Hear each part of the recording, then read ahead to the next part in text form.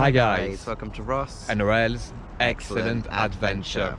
So today we are inside the Kremlin in Moscow, center of Moscow, obviously, and uh, this is where we are shooting the video from. It's very, very impressive. There is uh, three cathedral uh, in the complex. Because why stop at one? When, when you're the Tsar of Russia, you can have three. The more, the better. We have been in Russia now for over 10 days. Uh, it's been a real experience um, visiting Moscow for five days. Aurel, how would you sum Moscow up in a few words? In a few words, I'm gonna give it a go. So first, it's a vast uh, city, well organized. I was well impressed by the public transport, especially the, the metro.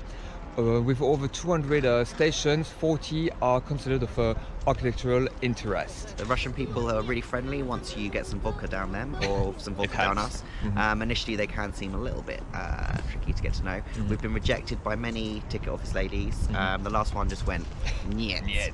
We're not sure why. She served all the people behind us afterwards. Okay. Um, but yeah, tomorrow we have our first over 24 hour train journey Very and I'm going to have to endure Aurel whinging about being in second class for Again. an extensive period of time. I don't know Mhm. how I'm going to cope. well, I'll make sure you pay for it, Ross. I'm sure you will. Um, but we will we will update you once we are in Yekaterinburg. Take care, guys. Have a great day. More to follow. Bye.